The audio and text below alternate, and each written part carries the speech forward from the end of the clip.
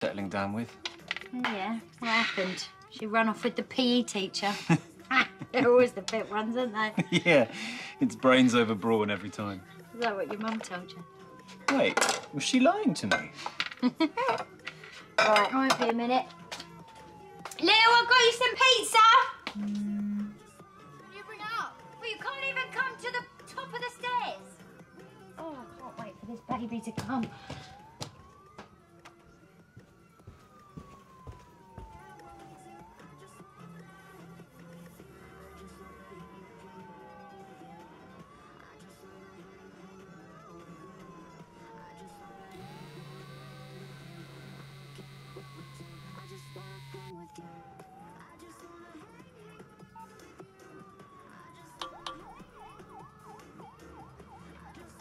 Coroner ruled it a suicide.